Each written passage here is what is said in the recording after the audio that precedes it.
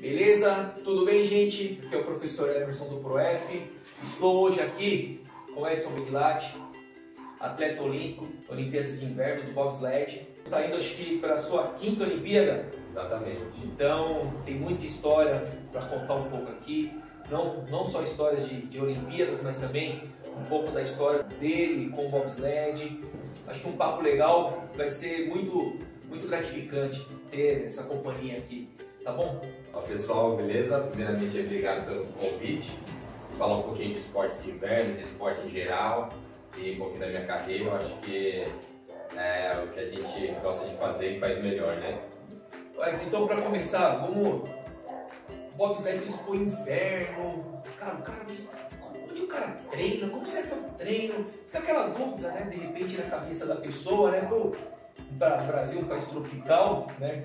Vocês vêm do atletismo, certo? Vocês ingressaram o bobsled, mas vocês, a, a, trajetória de vocês como atleta, ela vem do atletismo. Exatamente, eu comecei no atletismo em Santo André mesmo, é, desde os Jogos Escolares, na época existiam os Jogos Escolares de verdade, hoje já voltou um pouquinho mais, né? Jogos Escolares de Santo André, a gente ficou bem contente com isso. Eu comecei minha primeira, primeiro local de treinamento foi no SESI Prefeito Saladino. É, teve Jogos Escolares, em 1900 alguma coisa, que é coisa que não se fala, né? E aí eu fui convidado para treinar no SESI, eu ganhei a prova de mil metros. Eu treinei por um tempo no SESI, aí depois de, de, algum tempo, de dois anos, eu treinei lá durante dois anos, aí teve Jogos Escolares novamente, aí só que foi no Bruno Daniel. E o professor Valdemar Nacal me viu competindo, ganhei o salto de altura, ele gostou e falou assim, ah, vamos treinar, você quer? Eu gosto, vamos embora. É o que eu queria, né? Eu sempre gostei de treinar, joguei basquete, vôlei, futebol, mas sempre preferi o atletismo por ser uma modalidade individual e dependia só do meu potencial, né? Se eu fosse mal, eu conversava com o meu treinador e a gente viu onde que tinha que arrumar e melhor, para melhorar. E foi onde eu comecei a treinar em Santo André, onde eu me identifiquei, o Valdemar é meu paizão até hoje. Hoje a gente é, é colega de profissão, né? Hoje professor de educação, sou professor de educação física também. E lá eu comecei a fazer alguns resultados expressivos. No Santo André, mesmo no atletismo, onde eu fui para a modalidade chamada Decathlon. Para quem não conhece o Decathlon, o pessoal já pensa que tem natação, bicicleta. Não, o Decathlon são 10 provas do atletismo. Ela é dividida em dois dias de competição. Então, no primeiro dia, os 100 metros rasos, salto de distâncias, arremesso do peso, salto em altura, 400 metros. Aí no segundo dia, os 110 metros sobre barreiras, lançamento do disco, o salto com vara, lançamento do dardo para lascar com o atleta 1.500 metros rasos. Né? Então eu comecei a me destacar nessa modalidade. Fui campeão brasileiro de 96 a 2002. Aí depois de 2003, 2004 também fui, fui campeão brasileiro. Isso desde a categoria de base até a categoria principal. E em 99 é, o antigo presidente da Confederação Brasileira de Esportes no Gelo, antes era a IBSF, é, as siglas, ele viu meus resultados e queria montar uma equipe brasileira de bobsled. não sabia o que era bobsled. É, você já tinha assistido o filme Jamaica Abaixo de Zero, de jamaicanos, é, é um filme mais antigo, né? As pessoas mais de idade acho que vai conhecer o filme, os mais novos. Procura que, que vocês vão achar, é um filme muito legal, muito engraçado jamaicanos que queriam ir para uma Olimpíada de Verão, mas eles não conseguiram porque é, caíram na seletiva deles da Jamaica, nos 100 metros, e descobriram o bobsled e foram no bobsled para a Olimpíada. Eu assisti um filme na época minha mãe, eu era, tinha 18, 19 anos, minha mãe falou assim, não, você não vai que é muito perigoso.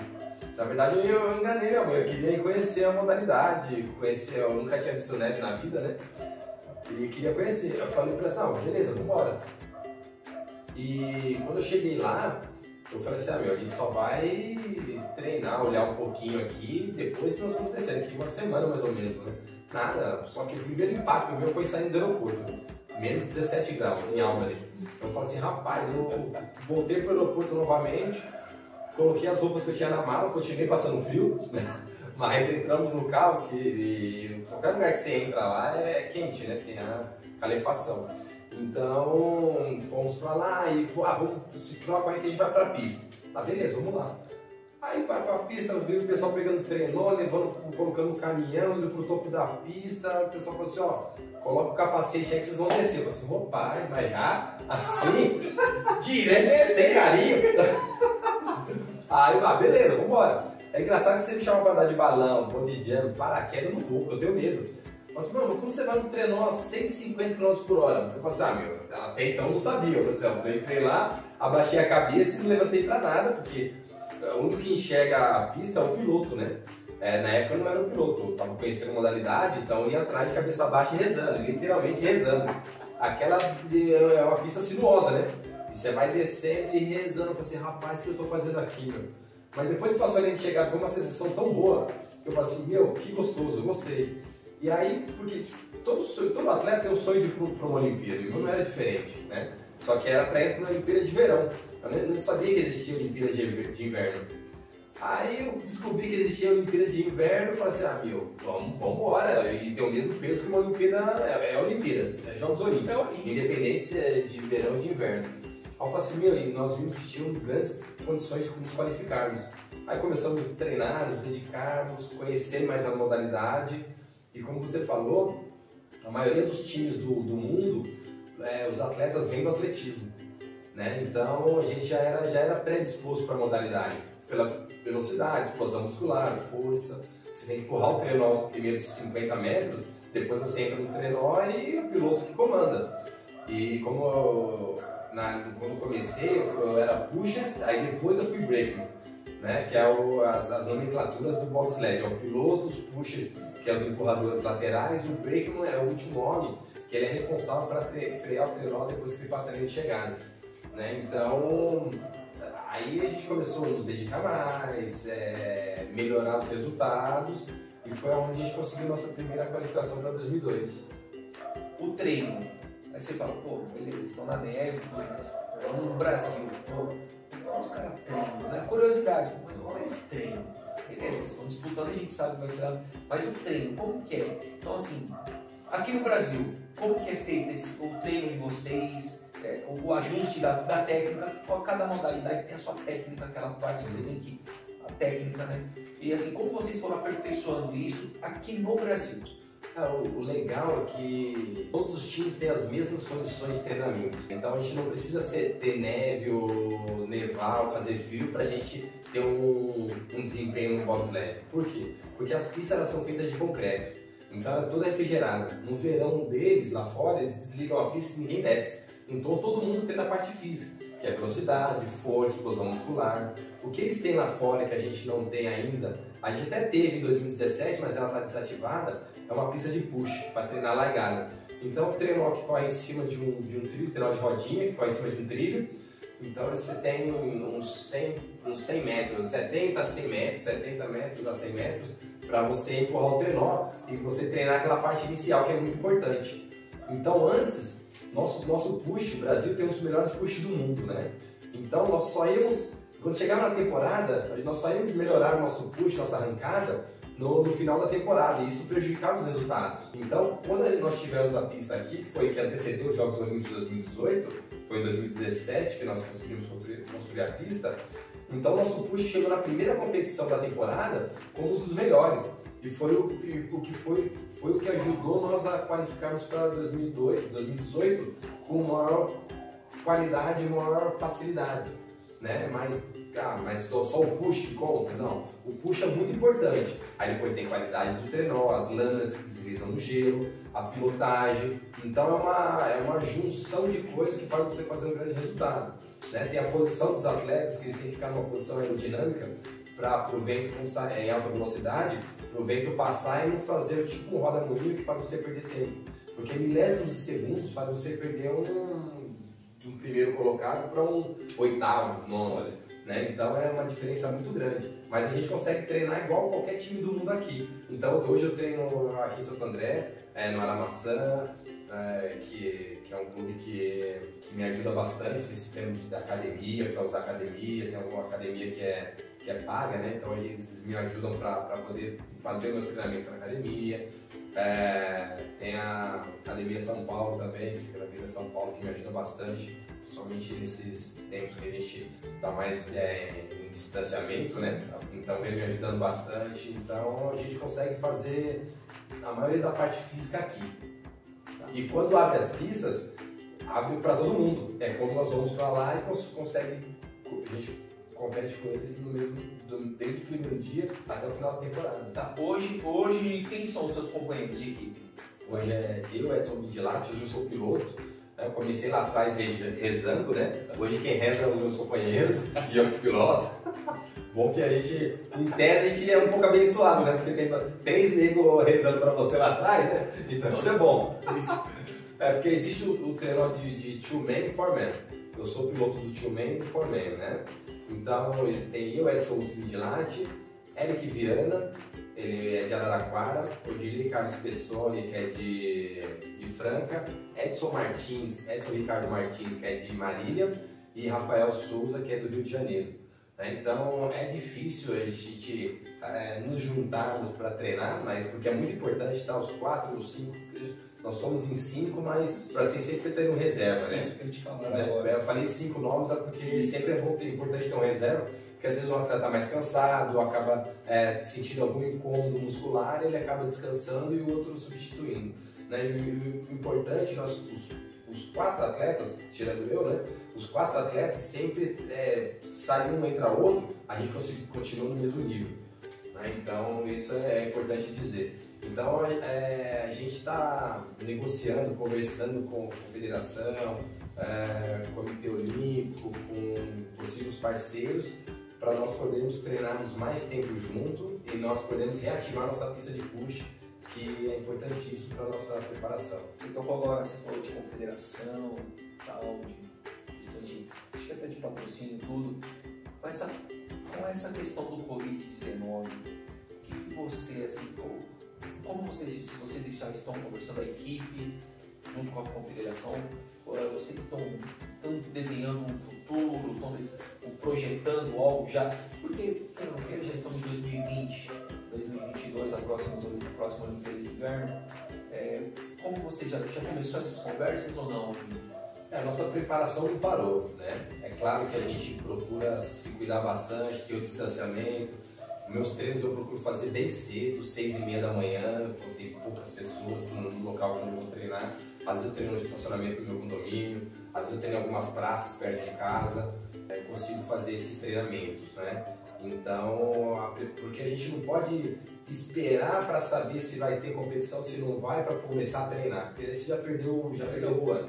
Então é complicado. Então a gente vem conversando com a confederação, infelizmente ainda falta um pouco mais de, de apoio da própria confederação, Comitê Olímpico, a gente sente isso bastante, mas a gente tem que fazer a nossa parte, né? Eu faço a minha parte, meus atletas, os atletas que competem comigo também fazem a, a parte deles, para quando falar assim, ó, a viagem é exemplo, semana que vem, a gente está pronto. Né? O interessante é que a nossa temporada só começa em novembro. A princípio começa em novembro, né? a gente não sabe como vai ser daqui até lá. Começando em novembro, a gente consegue ter uma visão do que pode acontecer. Porque hoje, se fosse começasse antes, hoje a gente não pode entrar nos Estados Unidos, né? E tá. muitos países da Europa. É, isso que a gente falar, né? Então é complicado, mas a gente acredita que até é novembro as coisas melhorem, né? A confederação até cogitou da temporada começar em janeiro, mas ainda não, não falaram nada ainda. Mas a gente não pode ficar esperando para saber se vai ser ou não. E hoje, Olimpíada é o, é o carro-chefe, é o sonho, mas quais são as competições internacionais que se, que se tem hoje do bobsled? Bobsled existe em Copa América, que é realizado na América, Copa Europa na Europa, Copa do Mundo, que é o circuito da Copa do Mundo, que são, são oito etapas, todas são oito etapas, né? Só que um só na América, outro só na Europa, e a Copa do Mundo no, no, no, no mundo inteiro, né? Que, que tem pista. E aí tem Campeonato Mundial e Jogos Olímpicos. Nós somos bicampeão da Copa América, mas fala Copa América, mas não é só os países da América que podem competir, não. Qualquer time do mundo pode competir. É, é Copa América é realizado aqui, Europa porque é realizado lá na Europa, por isso que tem, existem essas nomenclaturas. Mas nós somos bicampeão da Copa América de, de, de bobsled e hoje a gente é muito respeitado. Hoje o Brasil chega, o Brasil é realidade. Né? A gente já é 18, a gente foi 16 no ranking mundial em 2018, né? e depois da Olimpíada de 2018, eu me retirei por dois anos, um ano e meio mais ou menos, para dar oportunidade para os mais jovens, para ter essa renovação. Porque a confederação não tem muito dinheiro, a única verba da confederação vem do Comitê Olímpico Brasileiro, que é da Lei Guilherme Piva. Então, às vezes eu falei assim, meu, acho que é interessante a gente. Hoje eu tenho 40 anos, eu estou indo para minha 41 anos, estou indo para minha quinta Olimpíada, Jogos Olímpicos. Mas ah, você não está velho? Não, não estou velho porque eu, eu, eu, 20 metros entro no trenó, depois é só pilotagem. Se eu manter o meu nível de força e de velocidade, eu vou estar competindo de igualdade qualquer time do mundo, né? Então, a partir do momento que eu sei o meu potencial, eu sei que é a hora certa de parar, que minha, minha aposentadoria vai ser depois dos Jogos Olímpicos 2022. Na verdade, na verdade, você fez, você foi é, o percursor, o percursor da, da modalidade no Brasil e você já está planejando deixar o sucessor. Isso que isso é muito importante. Né? E aí eu, eu quero entrar no assunto com você é, nessa questão de buscar a sucessão, de buscar o interesse desse jovem hoje pela modalidade do bobsled, né? Querer falar com aquela mesma vontade que você teve lá há 20 anos atrás, se a gente for fazer as contas, há 20 anos atrás, do eu quero, gostei, é isso que eu vou querer para minha vida. É, você, vocês, têm, vocês têm um planejamento para isso? Vocês têm já uma, ideia de como fazer? É, hoje eu, eu sempre amei essa modalidade. Desde que comecei, eu me apaixonei. E a confederação passou por várias situações difíceis, né? Ela foi interditada em 2009 para 2010, onde nós não conseguimos nos qualificar para 2010 por problemas da confederação, por, por má administração. Né? Então, é, eu, junto com, com outro companheiro, nós conseguimos, é, através de, de, através de uma parte jurídica, tirar o antigo presidente, porque era uma má gestão. E hoje, o Brasil chegava, o antigo presidente não pagava o aluguel da pista, não pagava o treino que alugava. Então a gente tinha uma. não, era bem visto lá fora. E aí a gente, aí o COB não repassava mais verba para a confederação, porque não tinha como, porque não tinha prestação de contas. E foi onde a gente, meu, esporte é minha vida. É, eu comecei a pilotar e ia ser minha primeira Olimpíada como piloto em 2010. Acabou sendo em 2014. Mas eu lutei muito para que mudasse isso e hoje nós temos uma confederação é, que é uma das, das 13 melhores em, na parte administrativa do Comitê Olímpico. Né? Então, quando a gente, hoje a gente chega lá fora, a gente é respeitado.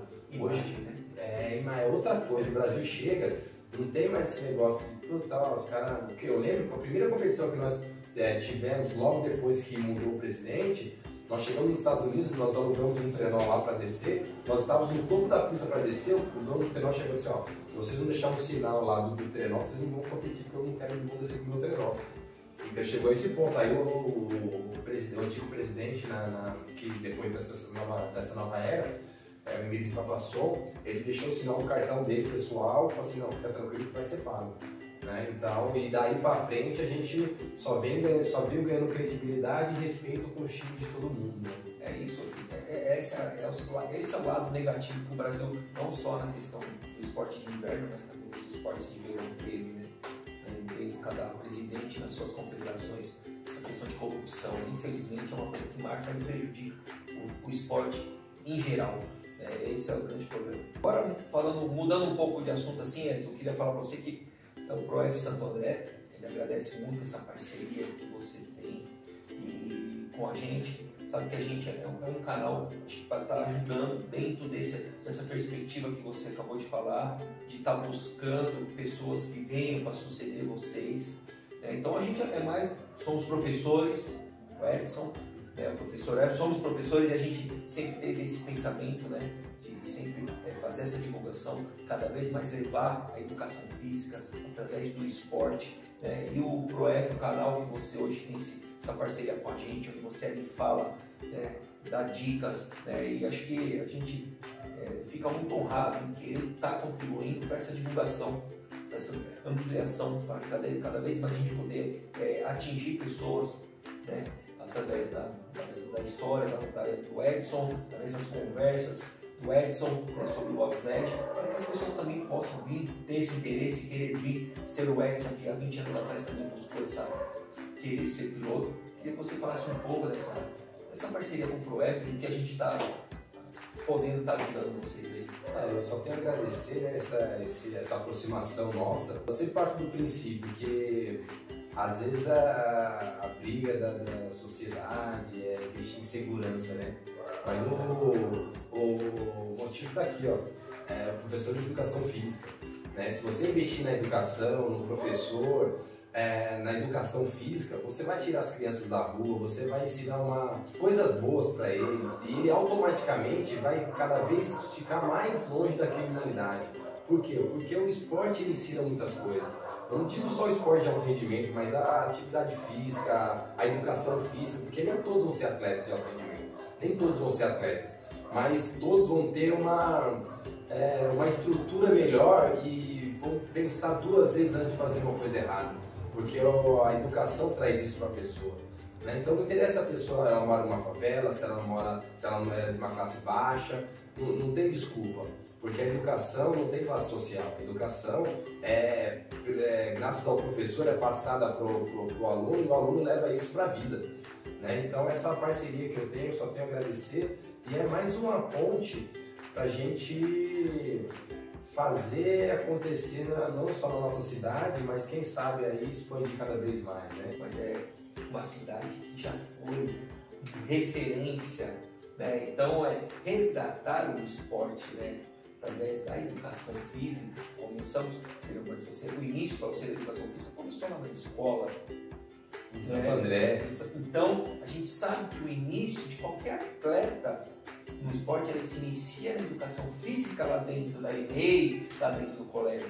Né? Então a gente, a valorização do professor, a valorização da educação física, que é a nossa formação, ela é muito importante. Então, é, quando a gente conversou lá atrás, a gente iniciamos essa, essa parceria, é, é, isso, é divulgar cada vez mais, valorizar a nossa classe, divulgando né, é, é projeto, é, participando de projetos para cada vez mais a educação física ela chega, consiga atingir. Eu acho que Santo André precisa voltar a, a ter essa, esse querer gostar da educação física e do esporte. E acho que você, Edson, está no caminho certo, morador de Santo André, atleta de Santo André, um atleta hoje é mundialmente conhecido e acho que é importante isso, a nossa cidade, saber que o Edson está aqui, ele está aqui e ele quer que você meu, que goste de correr, que gosta de, de inverno, da neve, entra lá no, na página do Edson no Facebook, no Instagram, procura, manda mensagem para ele, ele vai te responder, vai te orientar. Tem, tem, tem os lugares, se você puder falar aqui, Edson, dos locais. É, é, hoje a confederação ela criou uma Arena S Brasil, né? É um projeto que está começando ainda, inaugurou, só que por, por, causa da pandemia teve que fechar novamente.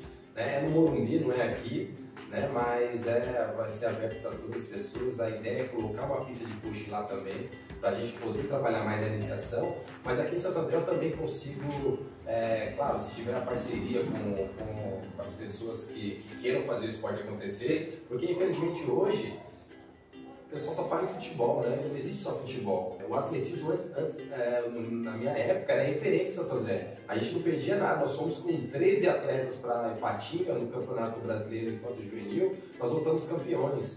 Né? Então, o atletismo foi, de Santo André foi muito forte. Você falou atletismo porque foi o esporte que me lançou para ir para os Jogos Olímpicos.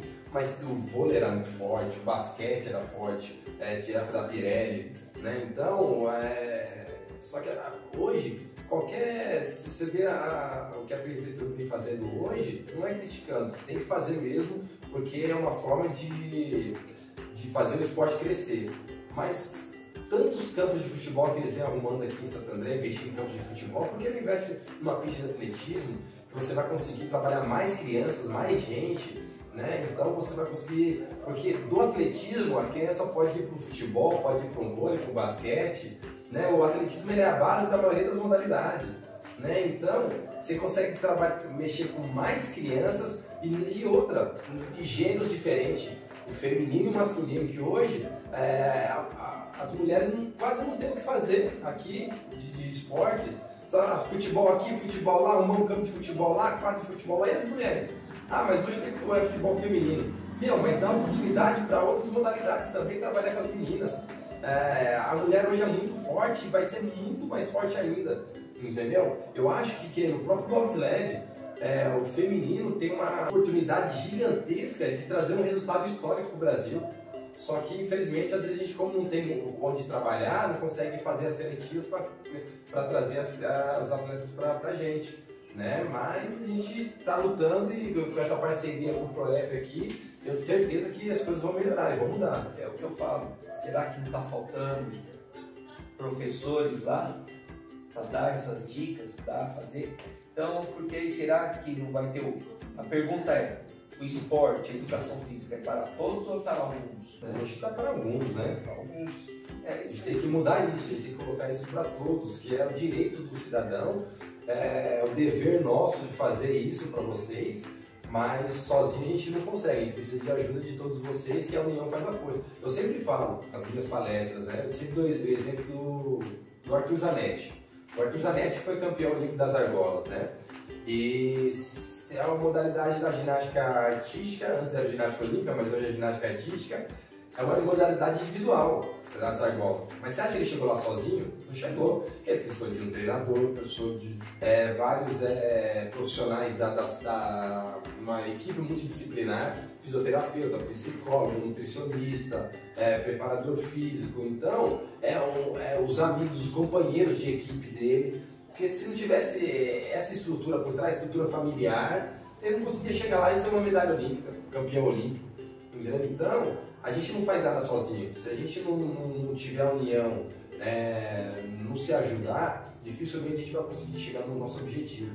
Então, eu acho que a união faz a força, acho que é a hora da gente se unir e fazer as coisas acontecerem na cidade de Santo André. Olha, adorei, tá? Queria agradecer de coração, viu, Edson?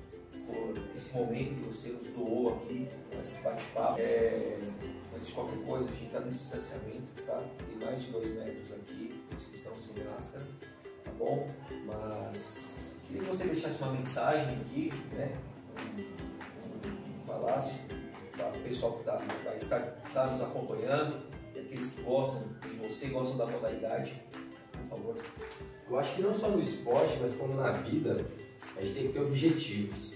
Porque acho que uma pessoa sem objetivo ela não sabe onde vai, né? não sabe para onde vai, fica perdido. Então foca no seu objetivo, foca no que você quer fazer, é, no que você acha que é bom para você. Entendeu? Não deixa que ninguém atrapalhe o seu sonho, ninguém tire o seu sonho, porque vai ter muitas pessoas dizendo que você não vai conseguir. Que nem eu, muitas pessoas falam aqui, ah, quem você fazer esporte de inverno? O que é bobsled? Hoje eu tenho quatro Jogos Olímpicos de Inverno, fui porta-bandeira dos Jogos Olímpicos e a gente é top 20 do ranking mundial. E a gente ainda vai trazer grandes resultados para o Brasil. Mas isso por quê? Porque eu confiei, eu acreditei e, e, e procurei ficar próximo de pessoas que confiassem em mim. Né? Então a dica é essa. Acredita no seu sonho, no seu objetivo, não só no esporte, mas na sua vida profissional, na vida daqui para frente. Se você acreditar, se você confiar e acreditar, você vai chegar lá. Edson, obrigado, gente. Valeu!